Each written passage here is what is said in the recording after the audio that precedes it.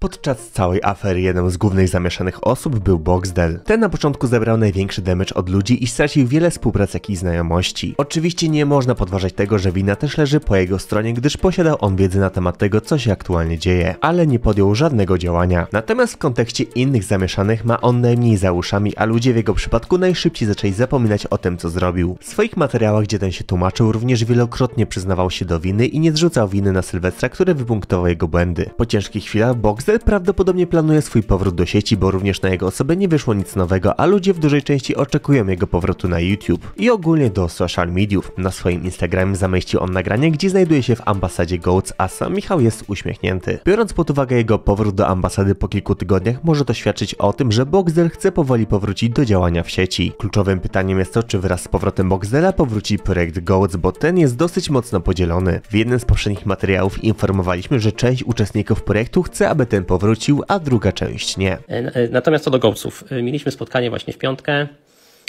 Boxer chce działać dalej. Jeszcze dwóch Gołców chce działać dalej. Natomiast ja póki co nie widzę za bardzo szans na taką działalność. I jeszcze jeden z Gołców też nie widzi szans na taką, taką działalność dalszą.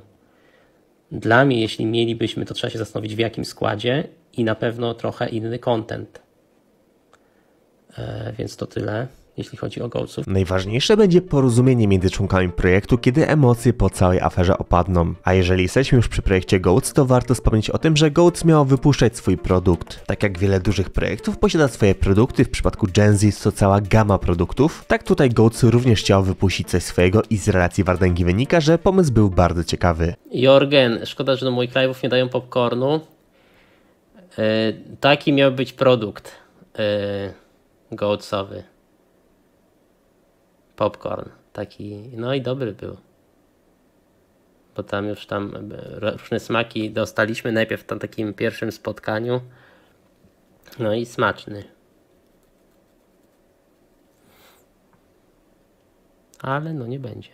Dowiadujemy się, że miał być to popcorn o różnych smakach, czyli prawdopodobnie różniłby się posypką. Warto zaznaczyć, że z twórców nikt na razie popcornu nie robił. Na ten moment wychodziły jedynie prażynki Michaelki, które nie osiągnęły aż tak dużego sukcesu. Ale możliwe, że tak mały sukces był spowodowany tym, że promował je tylko Mini Mike. W przypadku popcornu Goats, o ile ten by faktycznie wyszedł, zasięg reklamowy jest znacznie większy. Spory zasięg zrobił również ostatni film Dubiela, jednak chyba nie o taki zasięg mu chodziło. Celem Marcina prawdopodobnie było zagranie na emocjach ludzi, ale ten zrobił to w naj najgorszy możliwy sposób. Użył do tego swojej rodziny i płaczącej mamy, aż ciężko sobie wyobrazić sytuację, gdzie stawiasz kamerę i mówisz w niej do swojej mamy, jednocześnie płacząc lub też ten płacz wymuszając. Nie, to nie ma ci być Ale ty przykro. nie jesteś w stanie nic Jestem. zrobić. Nie jesteś.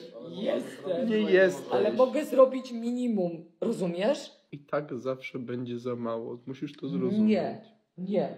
To nie trafiło do jego zwolenników, to trafiło do wszystkich. Do osób, która raz w życiu, Tak. do pani pracującej w żabce, która raz w życiu odpaliła YouTube'a, żeby zobaczyć ten film i nie odpali go nigdy więcej. Rozumiesz?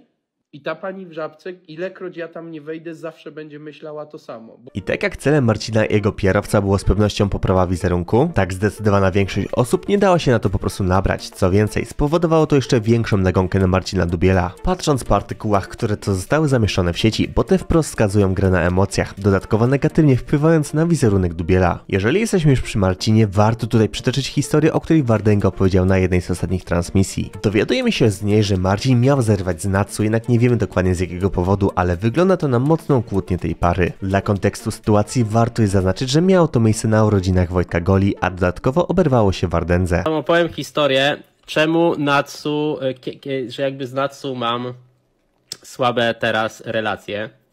Znaczy teraz to już wiadomo, ale dlaczego?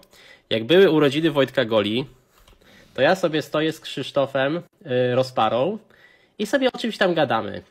Nagle idzie Natsu, patrzy na mnie, podchodzi do mnie i co się k***a śmiejesz, dyku? Tak ci k***a wesoło? I zaczęła mnie wyzywać. Ja takie oczy, Krzysiu rozpara takie oczy, ona drze się, drze się i poszła, nie? Ja patrzę na Krzysia, on na mnie, mówię, co się stało? Co ja zrobiłem złego, nie? I wiecie co? Okazało się, że Marcin z nią zerwał na tej imprezie. Nie będę mówił dlaczego, bo to tam jakieś ich sprawy, ale zerwali. I ona myślała, że jak ja na nią spojrzałem, to, że ja patrzę, żeby się z niej śmiać. Widać, że ostatni okres nie jest zbyt dobry dla Natsu i Marcina. Jeżeli już na urodzinach Wojtka Goli nie było kolorowo, to teraz mają oni jeszcze cięższy okres związany z całą aferą. Jeżeli już doszło do jednego zerwania, po czym zapewne wrócili do siebie, jest spora szansa, że relacja ta nie wytrzyma próby czasu. Bardzo słabo wygląda również relacja Natsu i Patrycji Mołczanow po zakończeniu wspólnych projektów. Dodając ostatnie wydarzenie, Patrycja wprost odcina się od Natsu. W różnego rodzaju wywiadach czy rozmowach wypowiadając się na jej temat. To wszystko zamieszane też jest Marcin Dubiel. Ty byłaś z Natsu kiedyś w teamie. Czy ty masz z nią dalej kontakt? Czy wiesz, jak ona to teraz przeżywa? Nie, na obecną chwilę nie mam e, żadnego kontaktu. E, Też znikomy kontakt mam z e, osobami z Teamu X, z Natsword. Ja postanowiłam odciąć się od tego środowiska troszkę. Nie, jakby nie chciałam się... Nie chcę utrzymywać takich relacji, które jakby źle na mnie wpływają, więc... No nasze drogi się rozeszły i też nie chcę się wypowiadać na ten temat za bardzo. Natalia nie pozostała dłużna i mimo, że w jej stronę nie padło tam nic konkretnego, to ta na swoim story poprosiła, aby Patrycja nie wypowiadała się na jej temat. I dość mocno zasugerowała, że ta chce się wybielić jej kosztem. Patrycja nie ma zbyt wielkiego grona sympatyków przez sztuczny PR, jaki tworzy wokół siebie, tak więc również i jej wypowiedzi na temat innych influencerów mogą być skrupulatnie przemyślane, aby wypaść jak najlepiej kosztem innych. Również zbyt wielu sympatyków nie posiada Fagata. Ta w całej aferze straciła i tak już bardzo słaby wizerunek. Jednak od kilku dni zaczyna ona wstawiać zdjęcia i nagrania z wakacji, prawdopodobnie próbując się odciąć od tej sytuacji. W sieci pojawiło się wiele głosów, że nie widać po Fagacie i jej aktywności na profilu, że brała udział w tej aferze. I faktycznie liczba lajków prezentuje się odwrotnie do tego, czego oczekiwali ludzie, bo jest ich znacznie więcej niż przed samą aferą. Ale natomiast w sekcji komentarzy widać ogromny atak w stronę Fagaty i fakt, że ludzie po prostu pamiętają i chcą, aby ta poniosła odpowiedzialność za swoje działania. Trzeba pamiętać, że na wakacjach nie da się być przez całe życie i prędzej czy później Fagata będzie musiała powrócić do rzeczywistości i skonfrontować oskarżenia, które padały w jej stronę. Mocne oskarżenia padły też w stronę Konopskiego. Ten w swoim materiale wspomniał o tym, że Stewart wypuścił film, jednak nie poruszył go za bardzo i mimo wielu komentarzy, że film ten jest o niczym, ten poruszył w nim kwestię chociażby incydentu w sklepie, gdzie informacje podane przez Wardęgę były błędne, bo doszło tam do ataku na Stewarta. Jednak z jakiegoś powodu materiał nie został omówiony przez Konopa, a ten dodatkowo oskarżył Amadeusza o atencjonowanie się, bo to on ten film opublicznił. i trafił w ręce atencyjnych hien, których nawet nie chcę wymieniać z ksywki, ale zaczęli się na swoich socialach przerzucać informacjami, że u kogo pojawi się wideo Stewarta. I typ podzielił 20-minutowy film Stew na dwie części, bo pierwszą część wrzucił w godzinę wyborów oraz kiedy Polska grała mecz, więc zasięgi mu się nie zgadzały i drugą część opublikował kilka dni później. Aktywnie też promował swoje konto na Twitchu i Instagrama swojego kolegi. Mikołaj słusznie zauważył, że materiał został wrzucony w dwóch częściach, co jest bardzo dziwnym zabiegiem, bo prawdopodobnie był on w całości. Amadeusz został zaatakowany o to, że rzucił się na zasięgi publikując ten materiał. Jednak nie dostaliśmy informacji od Konopskiego, czy on wcześniej ten materiał otrzymał lub dlaczego też go nie wrzucił. A właśnie taką linię obrony podjął Amadeusz. Konopski was wszystkich oszukał. Słuchajcie, Konopski był pierwszą osobą, która miała okazję ten film upublicznić. Tak, został zapytany, czy chce ten film pokazać, ponieważ on rozpoczął stawianie zarzutów w internecie. Mówi, że Stewart nie miał. E, e, Stewart mu zarzuca, że nie miał okazji się wypowiedzieć, a jak miał okazję nie tylko obejrzeć, przedstawić wam ten film, ale również odnieść się do słów Stewarta, to odpowiedział nie. Nie chciał wam go pokazać, co powiem więcej. Nie chciał, żeby ten film ujrzał światło dzienne. A teraz e, jeszcze krytykuje osobę, która ten film wrzuciła. Wiedział, że nie jest to AI, plotek nie dementował.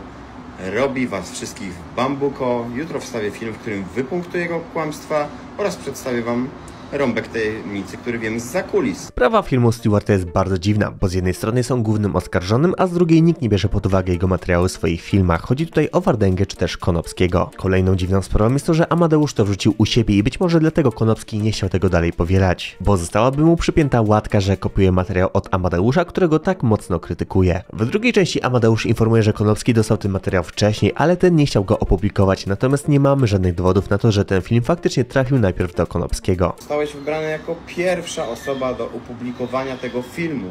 Bo co mi do tego, że Stewart nagrał film? Przecież to nie ja to rozpocząłem i mi nie zależało na tym, żeby ten film upublicznić czy opublikować. Dlatego miałeś go dostać ty, ale ty nie chciałeś pokazać ludziom tego materiału i nie chciałeś, żeby ten film znalazł się w internecie. Nie dementowałeś plotek związanych z AI, a nie chcę tutaj się za bardzo rozwodzić, bo wolę zrobić to obszernie i dokładnie w punkt w filmie, który nagram i wrzucę jutro.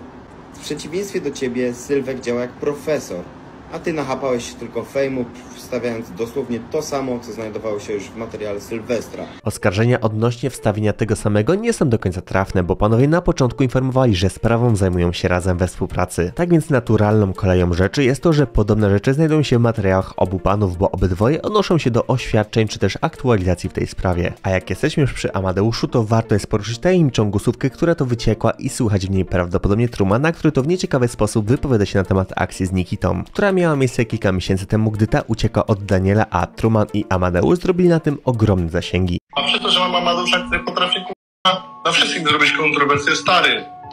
Wyobraź sobie, że my wzięliśmy jakąś kurwa patusiakę pod skrzydełko, wzięliśmy na wakacje, kurwa, to to, to tamto, kurwa. No i zobacz, jakie to zasięgi kurwa generowało. To jest. No w sensie, no ja ci powiem, że to jest po prostu wow, no. Ten Amadeusz wgarnął na Twitchu 100 koła osób widziałem przez dobre kilka godzin, jak samą tą Nikolą gadał. Kurwa, tam były niemożliwe zasięgi, stary. Więc na Polskę, to to dużo sobie będą musiały przyjść do nas, W rozmowie słyszymy, że akcja z Nikitą była traktowana stricte pod zasięgi, mimo zapewnień, że ci chcą zainwestować w nią duże pieniądze, aby ta powróciła na dobrą drogę życia. A w drugiej części z kolei tej głosówki słychać jak wspominają coś o sztucznej inteligencji i że dzięki niej mogą podbić cały internet, co w połączeniu z nagraniem Stewarta może prowadzić do ciekawych wniosków. władzę w całym internecie, a do tego będę potrzebował sztucznej inteligencji. Nie wiadomo do końca skąd pochodzi to nagranie, czy jest ono autentyczne i kto w nim dokładnie uczestniczy, jednak prawdopodobnie jest to właśnie Truman.